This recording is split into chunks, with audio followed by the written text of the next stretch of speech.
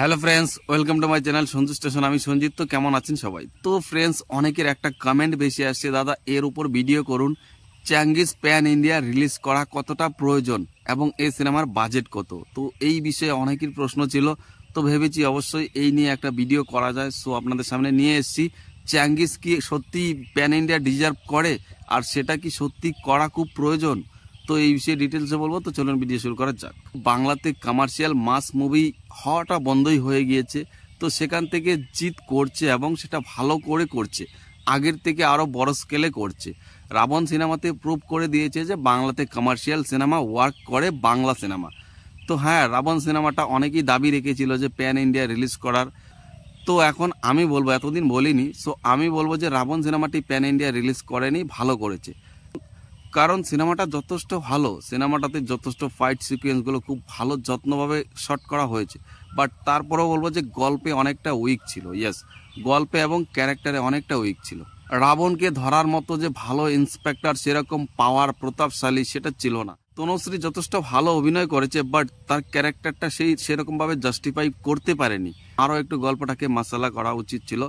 যাই হোক, এমনিতে সিনেমাটা হিট করেছে। কিন্তু এটা কোনোভাবেই কিন্তু প্যান ইন্ডিয়া ডিজার্ভ করে না। যদিও আমরা অনেক সময় বলেছি যে প্যান ইন্ডিয়া রিলিজ করা দরকার, কিন্তু আলটিমেটলি সত্যি এটাই তাই যে প্যান ইন্ডিয়া ডিজার্ভ করে না। কিন্তু হ্যাঁ চ্যাঙ্গিসটা যেহেতু এখনও রিলিজ হয়নি, এখন এটা নিয়ে কাজ করা চলছে, তো সেটা যদি লার্জার দ্যান করা যায়, গল্পটা যদি ভালো হয় ইয়েস কন্টেন্টটা যদি সুপার স্ট্রং হয়, তাহলে প্যান ইন্ডিয়া রিলিজ করুক। আর প্রথম ট্রাই যদি হয় ভালো তাহলে তো দারুণ ব্যাপার হবে। আরও একটা বিষয় বলে রাখি, বেলা শুরু হিন্দিতে রিলিজ করছে এবং তারা পোস্টারে লিখে দিয়েছে যে প্যান ইন্ডিয়া শো টাইম তারা এর আগেও বাবা বেবি তো এরকম করেছিল। মানে এই জিনিসটা বন্ধ করুন প্লিজ আমি কেন বলছি তার কারণ প্যান ইন্ডিয়া মানে এটা খেলাধুলা না। যে বলে দিলাম বা পোস্টারে লিখে দিলাম হ্যাঁ কিছু শো টাইম পেয়েছে বা কিছু শো টাইম তারা রিলিজ করছে। প্যান ইন্ডিয়া মানে পুরো ভারতবর্ষে গ্র্যান্ডভাবে রিলিজ করা, এটা বাংলার লোক বোঝে না কেন? আপনারা বাংলার লোকে ফুলবাল এরকম কেন দেখাচ্ছেন?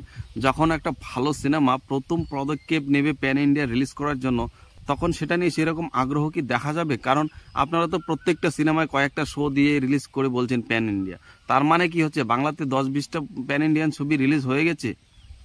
ঘণ্টা। দিস ইজ টু মাচ ভালোভাবে রিলিজ করছেন হিন্দিতে কিছু চ্যানেলে সরি হিন্দিতে কিছু জায়গায় রিলিজ করছেন কিছু থিয়েটারে ভালো কথা কালেকশন আসবে। কিন্তু প্যান ইন্ডিয়া এর সঙ্গে জোড়ার কোনো মানে হয়? প্যান ইন্ডিয়া মানে কি? দু চারটা হল দিলে প্যান ইন্ডিয়া নাই কোনো প্রমোশন নাই কোনো কথাবার্তা, নাই কোনো আলোচনা প্যান ইন্ডিয়া যদি পারেন, তাহলে সেভাবে কোনো দিন করে দেখাবেন নাহলে প্যান ইন্ডিয়া লিখবেন না। জাস্ট লিখুন যে হিন্দিতে রিলিজ করা হচ্ছে। তো যাই হোক, এবার আমরা চ্যাঙ্গিসে ভিড়বো। চ্যাঙ্গিস কি প্যান ইন্ডিয়া রিলিজ করা দরকার? তো তো দেখুন, আমি চাইব যে চ্যাঙ্গিসটা আরও বড় স্কেলে তৈরি করা হচ্ছে, সেটাকে যদি প্যান ইন্ডিয়া রিলিজ করা যায়, তার জন্য সেই রকম প্রমোশন করতে হবে।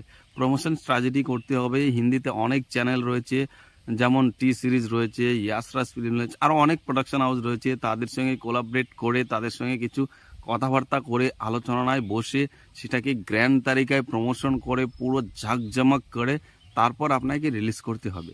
এর একটা পুষ্পা না যে আগে থেকে সবাই আল্লু অর্জুনকে চেনে কোনো রকমভাবে রিলিজ করে দিলে চলবে। এখন বাংলাতে সেরকমভাবে কেউই সেরকম পপুলার মুখ নেই।